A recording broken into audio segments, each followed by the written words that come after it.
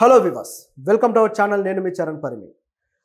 ఇప్పుడు కొత్తగా మరొక స్ట్రింగ్ మొదలైంది.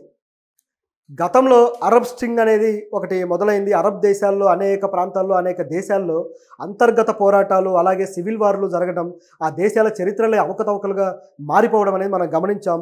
అలాగే తీవ్రవాద యాక్టివిటీస్ కూడా విపరీతంగా పెరగడము అనేక మంది సామాన్యులు చనిపోవడము. సో ఈ దేశాలు అల్లకల్లోల పరిస్థితిని ఎదుర్కొంటూ ఉండడం ఇప్పటికి కూడా చూస్తూనే ఉన్నాం. దీన్ని అంతా కలిపి ఒక అరబ్ స్ట్రింగ్ అనే పేరు అయితే ఉంది ఈజిప్ట్ కావచ్చు లిబియా కావచ్చు సిరియా కావచ్చు లెబనాన్ కావచ్చు అలాగే ఇజ్రాయెల్ ఇప్పుడు గాజా గురించి చేసే పోరాటం కావచ్చు ఇరాన్ అలాగే పాలస్తీనా తన ఉనికి కోసం పో- చేసే పోరాటం కావచ్చు ఇవన్నీ కూడా. సో ఇలాగే మరిన్ని జరగబోతున్నాయి. అయితే ఇది ఈసారి జరిగేది అరబ్ స్ట్రింగ్ కాదనమాట. ఏషియన్ స్ట్రింగ్ అది కూడా దక్షిణాసియా స్ట్రింగ్ అని చెప్పక తప్పదు. ఎందుకంటే ప్రస్తుతం రాజకీయ సామాజిక పరిణామాలు గమనిస్తూ ఉంటే ఆల్రెడీ బంగ్లాదేశ్లో జరుగుతోంది. సో పెద్ద పోరాటం చేసి ప్రభుత్వాన్ని మార్చేశారు.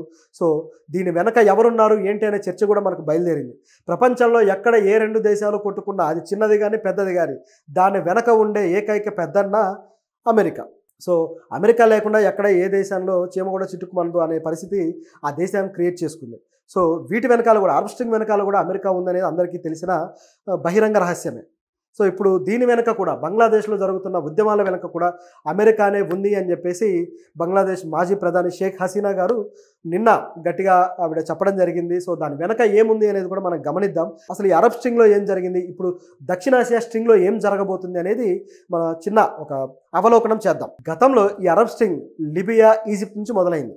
సో ఈజిప్ట్లో సోషల్ మీడియాలో పీపుల్ అంతా కూడా ప్రభుత్వానికి వ్యతిరేకంగా పోస్టులు చేయడము అట్లా వాళ్ళు రోడ్ల మీదకి రావడము ఆంక్షలను ఎదిరించడము ఈ విధంగా స్టార్ట్ చేసి గొప్ప పోరాటమే చేశారు ఈజిప్ట్లో. అది కాస్త లిబియాకు పాకి లిబియాలో కూడా ఇదే విధంగా గొప్ప ఉద్యమం చెలరేగి అక్కడ అక్కడ నియంతగా పేరు పడ్డ గడాఫీని అంతమొందించారు. గడాఫీని ప్రజలే చంపేశారంటే ఎంత ఘోరంగా జరిగిందో మీరు ఆలోచించవచ్చు.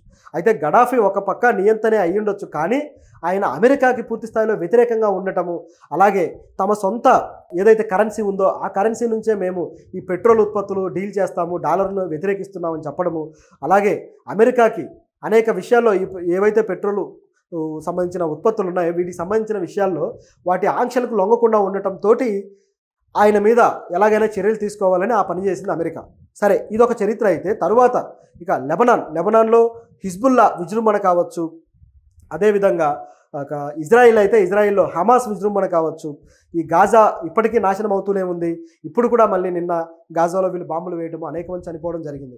అమెరికా సపోర్ట్ చూసుకొని ఇజ్రాయిల్ ఒక రౌడీలాగా ప్రవర్తించడము దీనివల్ల సామాన్యులు చనిపోవడం ఒక యాంగిల్ అయితే ఇజ్రాయిల్ సామ్రాజ్యవాదాన్ని అడ్డుకోవడం కోసం ఇరాన్ కొంత పోరాడుతూనే ఉన్న ఇరాన్ కూడా ఎట్లాగే ఇక అణ్వాయుధాలు పెట్టుకొని ఈ తీవ్రవాద గ్రూపులను ఎంకరేజ్ చేయడం అనేది మొత్తం ఇక్కడ ఒక అలజడికి కారణమవుతూ వస్తుంది.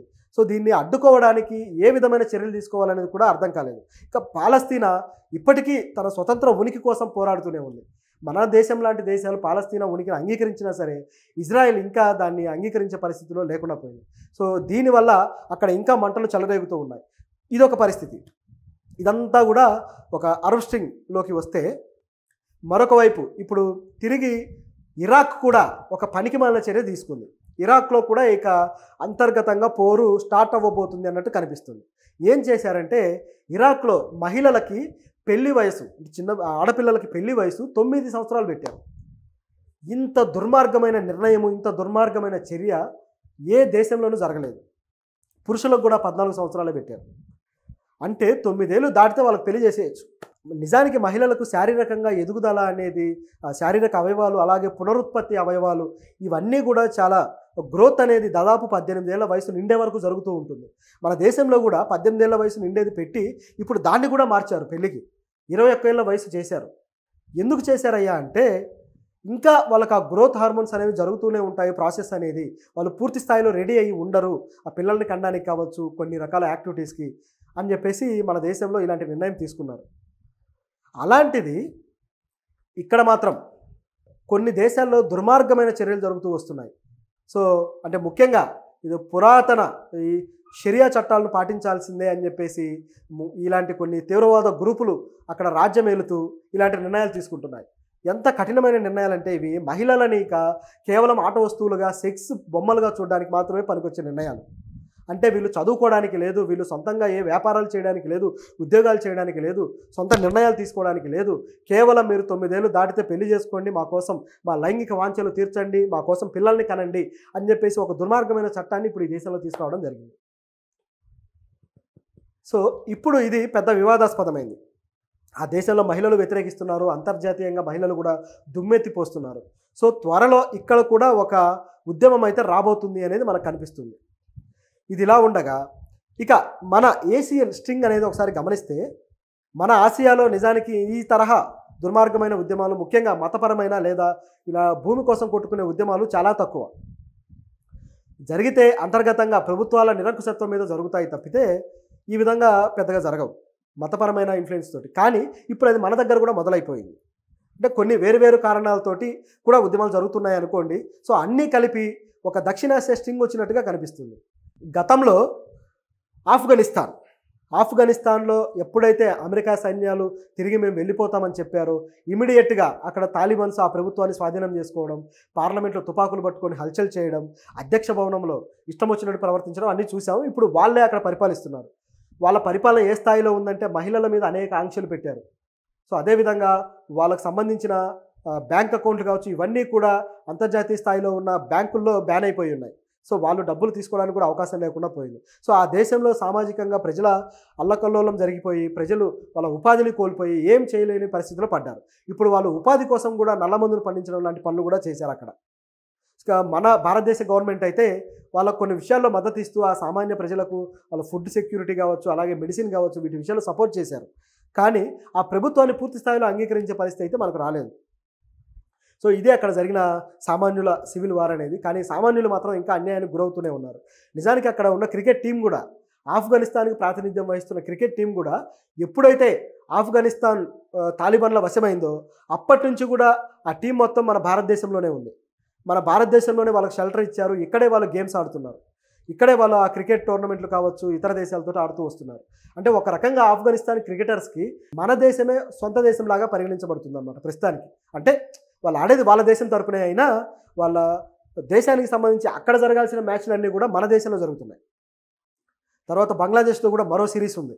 సో ఆ సిరీస్ జరగబోతుంది అనే టైంలోనే ఉన్నట్టుండి ఇప్పుడు ఈ వివాదము అలాగే ఈ గొడవ ఇదంతా జరిగి మొత్తం డిస్టర్బ్ అయిపోయింది అనమాట సో ఆ సిరీస్ కూడా మన ఇండియాలోనే జరగడానికి మన దేశ బీసీసీఐ గవర్నమెంట్ కూడా పర్మిషన్ ఇచ్చింది. సో ఇది ఇక్కడ ఉన్న పరిస్థితి అయితే ఇది ఆసియా కేటగిరీలోని దేశాల్లోని ఒక యాంగిల్. అలాగే శ్రీలంకలో కూడా గతంలో అధ్యక్ష భవనంలోకి వెళ్ళడము అంతా రచ్చ చేయడము సో అక్కడ ఉన్న ఆర్థిక మాంద్యాన్ని అంటే అక్కడ ఏంటంటే మతపరమైంది కాకుండా ఆర్థిక మాంద్యానికి సంబంధించి ప్రజల్లో వచ్చిన విప్లవం. సో ఆ విధంగా ప్రజలు గొప్ప స్ఫూర్తిని చూపించారు నిజం చెప్పాలంటే.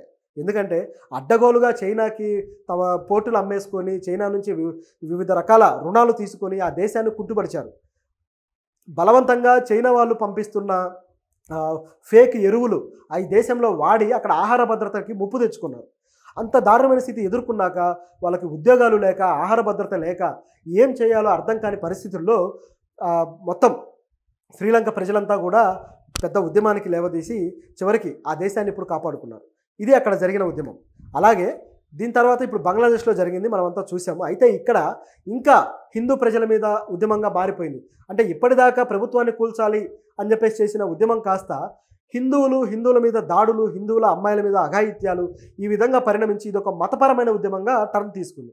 దానికి కారణం ఏంటంటే అసలు ఈ ఉద్యమం వెనక ఉందే ప్రతిపక్ష పార్టీ అయిన జమాతే ఇస్లామీ అలాగే పాకిస్తాన్ తీవ్రవాద శ్రేణులు దీని మీద ఉన్నాయి అని చెప్పేసి గతం నుంచి వార్తలు వస్తున్నాయి. దాదాపు ఇవి నమ్మక తప్పదు. ఎందుకంటే మతపరమైన ప్రజల మీద ఎందుకు ఇలాంటి రియాక్షన్ తీసుకోవాలి? ఆల్రెడీ ఉద్యమం సక్సెస్ అయింది. సుప్రీంకోర్టు జడ్జిలు కూడా దాదాపు ఐదుగురు జడ్జిలు సిట్టింగ్ జడ్జిలు రాజీనామాలు చేశారు. ఇంకా ఏం జరగాలి? ప్రభుత్వంలో అన్ని వ్యవస్థల్ని సమూలంగా మార్చేశారు కదా. కానీ ఇది ఆగట్లేదు. ఇంకా జరుగుతూనే ఉంది. ఎక్కడి దాకా ఇది దారి తీస్తుందో అర్థం కావట్లేదు. మన దేశం ఈ విషయంలో మాత్రం చాలా త్వరగా స్పందించి ఒక ఏదైనా అల్టిమేటం జారీ చేస్తే తప్ప ఇది కంట్రోల్ అవ్వదు. ఇది ఇక్కడ ఉన్న పరిస్థితి. అయితే ఇది ఇక్కడే ఆగుతుందా అంటే ఆగదు. దీని వెనకాల అమెరికా ఉంది అని చెప్పేసి హషీనా ప్రకటించేశారు. ఆవిడ ఏమన్నారంటే బంగ్లాదేశ్కి సంబంధించిన ఒక ఐలాండ్ మీద హక్కుని అమెరికా అడిగింది. కానీ మేము ఇవ్వనందుకు మేము దానికి ఒప్పుకోనందుకు ఈ విధంగా నా ప్రభుత్వాన్ని కూల్చింది అని చెప్పేసి హసీనా గారు అన్నారు. దీన్ని దాదాపు అంగీకరించవచ్చు ఎందుకంటే ఆసియాలో అలాగే ఏషియన్ ఓషన్స్లో పట్టు సాధించడం కోసం అమెరికా ఎప్పటి నుంచో ప్రయత్నిస్తూ వస్తుంది. మన దేశంతో ఏర్పరచుకున్న క్వాడ్ ఒప్పందం కూడా అటువంటిదే. అంటే ఇండో పసిఫిక్ తీరంలో అక్కడ పట్టు సాధించడం కోసం ఇలాంటిది ఏర్పాటు చేశారు. అలాగే ఈ బంగాళాఖాతంలో కూడా కొన్ని ఏరియాస్లో పట్టు సాధించడం కోసం అక్కడ రవాణా వ్యవస్థ మీద గ్రిప్ కోసం ఇలాంటి చర్యలు అయితే తీసుకొని ఉండొచ్చు. దీన్ని దాదాపు నమ్మశక్యమైంది. ఇదిలా ఉంటే ఇక ఇంకా ఏం జరగబోతుంది? ఇంకా దక్షిణాసియా దేశాలు ఏమున్నాయని గమనిస్తే మరొక దేశం ఉంది. అదేంటంటే మయన్మార్. మయన్మార్లో కూడా ఇలాంటిది ఒకటి జరుగుతూ ఉంది. సో మయన్మార్లో ఏం జరుగుతుందంటే అక్కడ లోకల్గా అంతర్గత పోరాటం జరుగుతుందన్నమాట. రెబల్స్ ఆ ప్రభుత్వం మీద తిరగబడి సైన్యానికి రెబల్స్కి మధ్య పెద్ద వార్ జరుగుతుంది. ఇందులో భాగంగా అక్కడి నుంచి పారిపోయి కొంతమంది రోహింగ్యాలు ఇటు బంగ్లాదేశ్ వైపు రాబోతున్నారు అనమాట సో ఇలా రాబోతున్న టైంలో బంగ్లాదేశ్ బార్డర్లోనే డ్రోన్ అటాక్ చేసి దాదాపు రెండు వందల మంది రోహింగ్యాలు చావుకు కారణమైంది. అక్కడ ఆర్మీతో పోరాడుతున్న ఆ రెబల్స్ని అరాకన్ ఆర్మీ అంటారు. సో ఈ అరాకన్ ఆర్మీ ఇప్పుడు పోరాడుతూ ఉందన్నమాట. సో వీళ్ళు ఏ హక్కుల కోసం పోరాడుతున్నారు ఏంటనేది మనం తర్వాత చూద్దాం. అయితే ఈ ఉద్యమంలో దాదాపు రెండు వేల రెండు వందల మంది అమాయకమైన రోహింగ్యాలు చనిపోయారు. వీళ్ళకంటూ ఒక ల్యాండ్ లేకపోవడము ఏ దేశము వీళ్ళని అంగీకరించకపోవడంతో ఎక్కడికి పోయినా సరే వీళ్ళకు చావే పలకరిస్తుంది. ఎక్కడికి పోయినా సరే సామాన్యులు చిన్నపిల్లలు కూడా చనిపోయారు మహిళలు చనిపోయారు. ఒక ఘోరమైన పరిస్థితి. ఇంత సువిశాల ప్రపంచంలో మనుషులు బతకడానికి వాళ్ళకంటూ ఒక దేశము ఒక ప్రాంతము లేకపోవడం అత్యంత దుర్మార్గమైన విషయం. ఎప్పుడో వలసవాద సామ్రాజ్యాలు బ్రిటిషర్సు అలాగే అనేక మంది అంతకు ముందు కూడా వలసవాదులు చేసిన దుర్మార్గాల వల్ల వాళ్ళు ప్రజల్ని ఈ విధంగా తరలించడం వల్ల ఆయా గ్రూపులకు అనేక కష్టాలు వచ్చి పడుతున్నాయి అన్నమాట సో ఇది కూడా అటువంటిదే. అయితే ఇక్కడ మయన్మార్లో ఖచ్చితంగా ఇది పెద్ద స్థాయిలో మారబోతుంది. ఇక బంగ్లాదేశ్ ఎఫెక్ట్ కూడా మయన్మార్ మీద పడబోతుంది అనేది ఇక క్లియర్. ఇదిలా ఉంటే ఇది కాకుండా మన దేశం మీద కూడా కొంత ఇన్ఫ్లుయెన్స్ చూపించబోతుంది. సో మన దేశంలో ఇప్పటిదాకా ఏ గొడవ జరిగినా అది పెద్ద సివిల్ వార్ స్థాయిలో జరగలేదు. అయితే ఎంతో కొంత ప్రభావం అయితే చూపించబోతుంది.